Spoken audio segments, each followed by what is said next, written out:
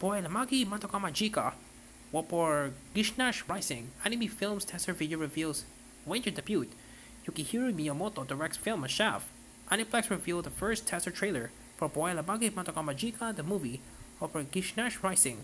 the official sequel to the Puella Magi Madoka Magica, the movie Part 3, Rebellion film, on Sunday. The tester reveals the film's winter debut and confirms its director. Aniplex also revealed a new visual and revealed that Yukihiro Miyamoto is directing the film. The anime film will feature a returning staff from the original anime series and films, including original creators, Magica Quartet, Chief Director Akiyuki Shinbo, scriptwriter Gen Urobuchi of Nitro Plus, original character designer Ume Aoki,